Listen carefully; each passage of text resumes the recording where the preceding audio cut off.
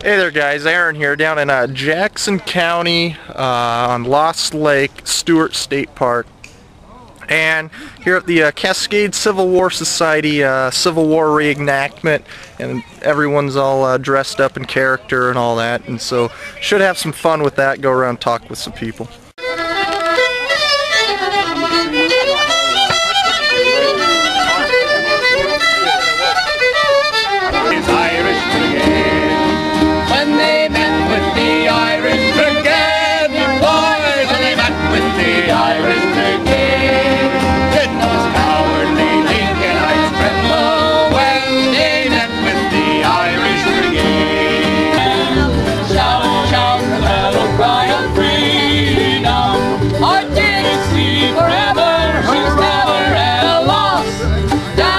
You.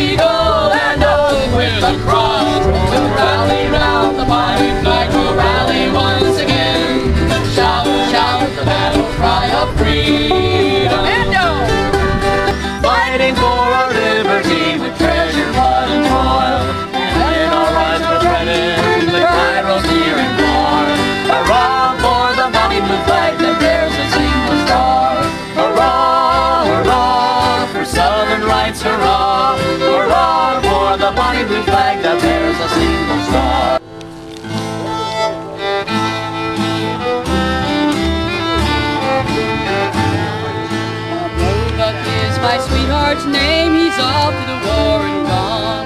He's fighting for his nanny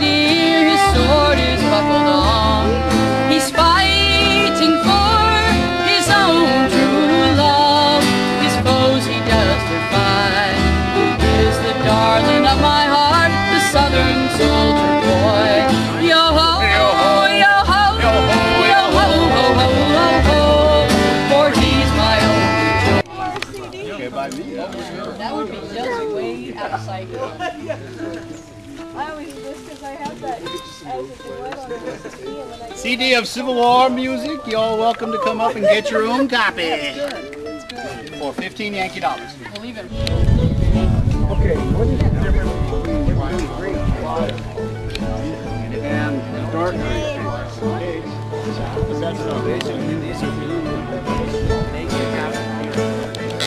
This is the uh, the Maryland first line encampment. Poor Maryland. Hey sir, just wondering what uh, you're fighting for today with the Confederacy. Well, there's one simple, very direct answer. I'm fighting to keep invaders from taking over my home. The Yankee Army has entered the southern states illegally to enforce their despotism upon us and force us to live the way they think we should live and we think we have the right to live the way we want to live. When a man attacks your home, you defend it. And that's it. That's it. What, what do you say about? Uh, I, I've noticed there's a, a guy named uh, Karl Marx working for the uh, British, and they're putting out propaganda. It's all about slavery. Well, slavery is a serious issue.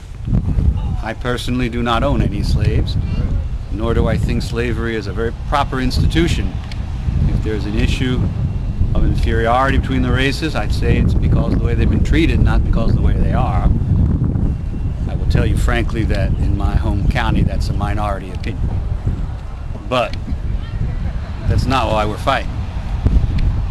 I'd hope there was a proposal in the Confederate Congress to manumit slaves and then declare independence. Unfortunately, it was rejected. There still moves afoot to allow slaves to earn their freedom by taking arms to defend the Confederacy, which many are willing to do. It is their home as well. I hope that comes to pass, but politicians are politicians. Are you uh, concerned about the uh, the taxes at all right now? The uh, what it, they call it the Morrill tariff? Well, it doesn't in fact affect us at the current time as we are no longer part of the United States of America. Ah, okay. All right.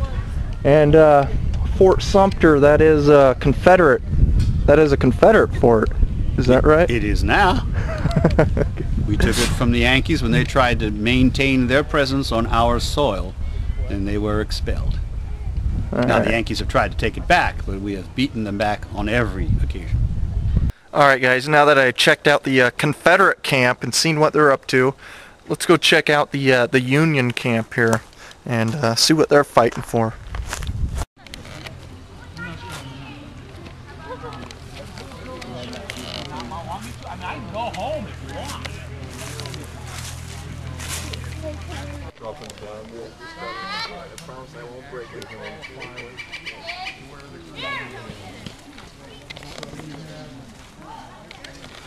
Is there a specific name for this uh, tent or Uh, yes, there is. What we have here is something called a wall tent. The wall tent was commonly used by the officers um, and people of ranks of such, and commonly used by the civilians. It has a lot of leg room, a lot of uh, standing room compared to the A tents or uh, perhaps some of the dog tents. And uh, so, this A tents like those um, commonly would be housing a sergeant, perhaps even a corporal if he was lucky enough.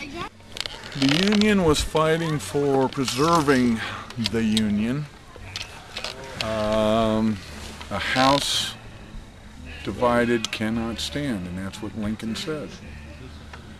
So basically, slavery was not the main issue with the Union until after Antietam, January 1st of 1863, when the proclamation Emancipation.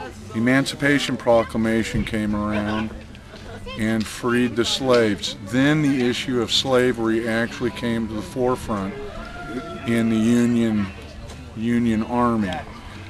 A lot of the men fighting didn't want to fight for slavery at that time. They didn't think that the war was about that. They they thought that the war was about keeping the United States of America one country. And that's basically what the Union was fighting for at the time.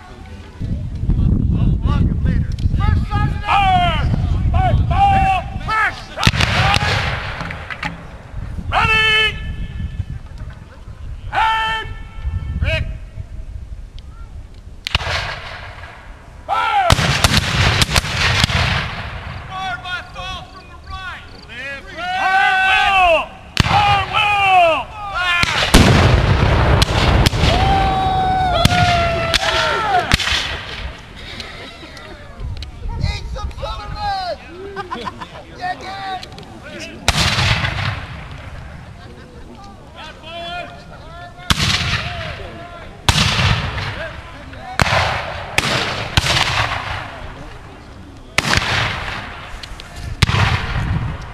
That's right! Maryland, right! Advance!